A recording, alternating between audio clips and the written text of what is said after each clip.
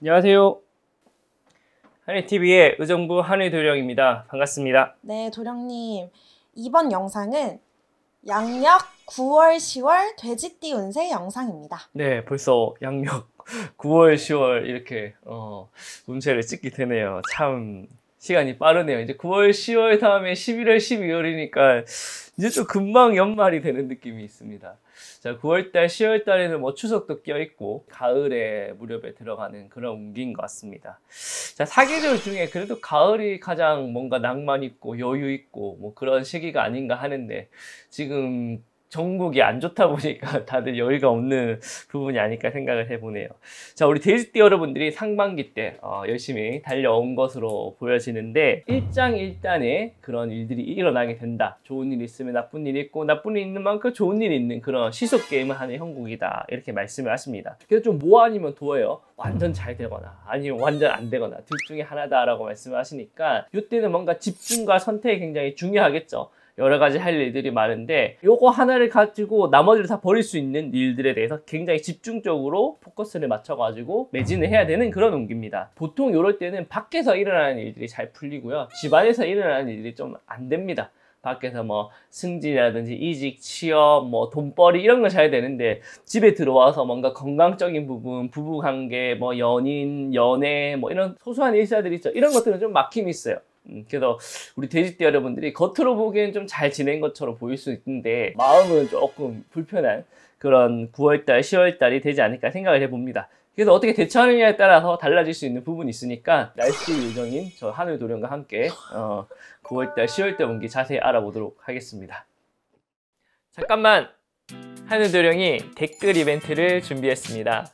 댓글에 소원을 적어주세요. 영상 마지막에 올려드리도록 하겠습니다. 많은 참여 부탁드립니다. 자, 가장 먼저 말씀드릴 띠는요. 올해 30살이 되는 의뢰생 돼지띠 여러분들입니다. 5반기 먼저 뽑아보도록 할게요. 자, 양력으로 9월달 어떻게 될까요? 짠! 아, 역시나 시련과 고난이 드는 형국이다.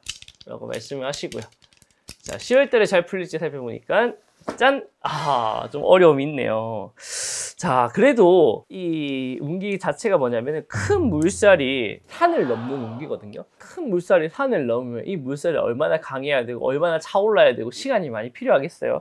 그래서 오랫동안 해왔던 일들이 뭔가 급격한 결과를 낼 수 있는 그런 타이밍이다. 그래서 지금 이제 너물랑 말랑 하고 있다. 이렇게 생각을 하시면 되고요. 그래도 큰 이득을 얻을 수 있는 타이밍이에요. 어려움이 있긴 하지만 이걸 넘어서면서 큰 결과를 가져오는데 너무 한 가지 그 결과에 매진하다 보니까 건강적인 부분, 인간사적인 부분 이런 부분을 좀 잃어버릴 수 있는 그런 운기다라고 말씀을 하세요. 특히나 이제 사랑관계, 인격적인 부분에서는 가까운 사람을 좀 잘 챙겨라. 이렇게 말씀을 하십니다. 내가 뭔가 큰 것에 매진이 되어 있다 보니까 가까이에 있는 사람들에 대해 좀 소홀히 해서 관계가 좀 멀어질 수도 있는 그런 운기다라고 말씀을 하시고요. 자, 건강적인 부분에서는 뭔가 수술하거나 시술하거나 이런 일들이 좀 생긴다라고 말씀해요. 일상생활 속에서 일어나는 자잘한 질병들 있죠. 그런 거 조금 챙기셔야 된다라고 말씀하시고 자 금전적인 부분에서는 직접적인 금전은 아니지만 뭐 시험에 대한 합격은 승진에 대한 부분, 이직수에 대한 부분, 명예적인 부분 이런 것들이 올라가기 때문에 이것이 곧 돈과도 연결되는 그런 부분이다라고 말씀을 하시니까 뭐 외부적으로는 그래도 좀 만족할 만한 성과를 거둘 수 있겠다라고 참고하시고 이때는 큰 일도 중요하지만 작은 일도 잘 챙겨 나가야 된다라는 부분 꼭 명심하셔서 어, 둘 다 챙겨갈 수 있는 지혜로운 돼지띠 되시기를 기원드리도록 하겠습니다. 자, 두 번째로 말씀드릴 때는요. 올해 42살이 되는 개생 돼지띠 여러분들입니다. 5반기 먼저 뽑아보도록 할게요. 자, 양력 9월달 어떨까요?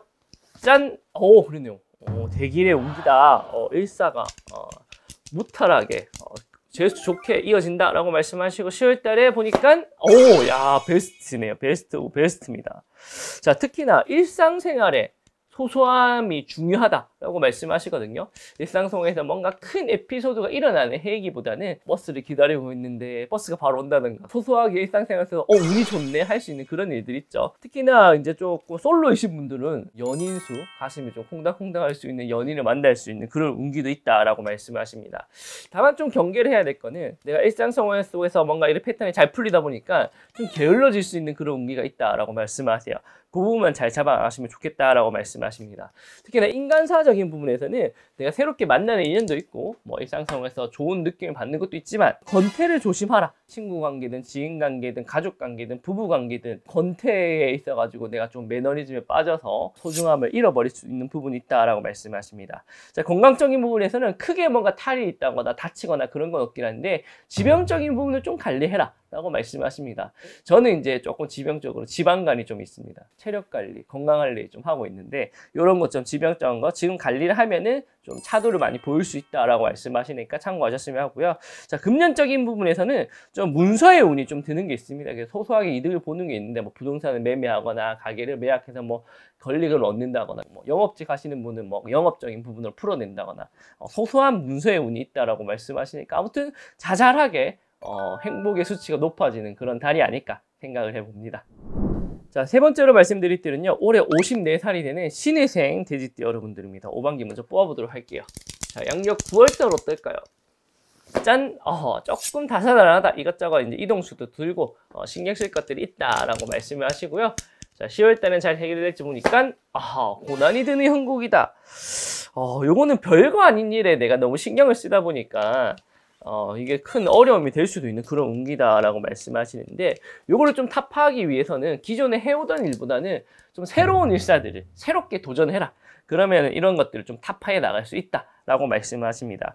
특히나 인간사에 있어가지고 큰 덕망이 드는 부분이 있다라고 말씀하시니까 뭐 좋은 선생님, 좋은 스승, 나를 이끌어주시는 선배, 뭐 사장, 뭐 이렇게 윗사람의 덕망이 특히나 좀 높아지는 부분이 있겠다라고 말씀하십니다. 자, 건강적인 부분에서는 그래도 굉장히 컨디션적인 부분, 일상의 활력 같은 게 굉장히 높아지는 부분이 있으니까 건강은 좋을 때 관리하는 겁니다. 이럴 때 이제 식단하고 운동하시면서 지금의 페이스를 쭉 잘 유지해라. 이렇게 말씀하시고요. 금전적인 부분, 명예적인 부분에서는 뭐 새롭게 시작하는 일상인 만큼 첫 술에 배부를 수는 없다라고 말씀하시면 점진적으로 계속 발전을 하는 그런 운기다라고 말씀하시거든요. 그래서 지구력과 끈기와 인내만 갖추면은 굉장히 좋은 일의 시작에 어, 출발이 될 수 있겠다. 라고 말씀하시니 참고하셔가지고 좋은 선물들 많이 누리셨으면 합니다.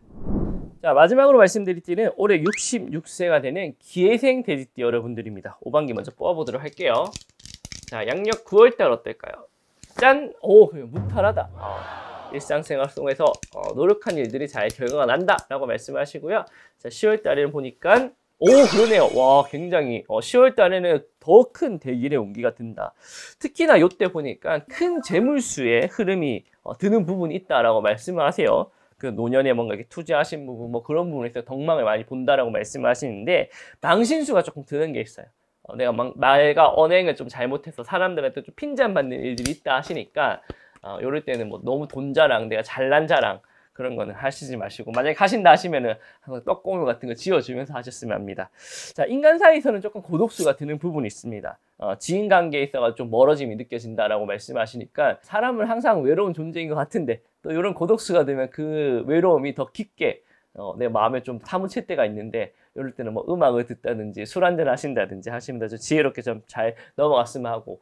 자 건강적인 부분에서는 어 금전의 덕망이 듭니다. 뭐 보험금이라든지 지원금이 들어와 가지고 여유가 생긴다 하시는데 그래도 소소한 부상 같은 건 좀 조심해야 된다 라고 말씀을 하시니까 잘 참고하셔서 넘어가셨으면 하고. 자 금전적인 부분은 금방 말씀드렸다시피 투자 뭐 부동산 이런 걸로 인해 자산의 가치가 조금 상승을 하는 그런 운기가 있습니다. 어, 내가 이제 힘들게 버는 돈도 중요하지만 요즘처럼 인플레이션이 심한 사회에서는 자산의 증가가 더 큰 이득을 줄 때가 있거든요. 소소한 자산의 증가긴 하지만 그래도 굉장히 큰 금액으로 다가올 수 있다라고 말씀하시니까 좋은 선물들 많이 누리셨으면 합니다.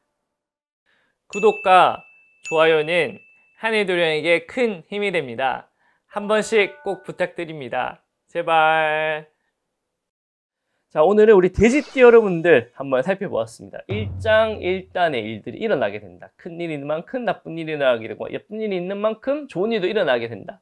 자, 요럴 때는 내가 마음가짐만 잘 준비하면 나쁜 일은 그냥 무던하게 받아들이고, 좋은 일만 잘 기억하는 지혜를 발휘한다면, 자, 9월달, 10월달 큰 덕망이 있는 해로 받아들일 수 있지 않을까 싶어요.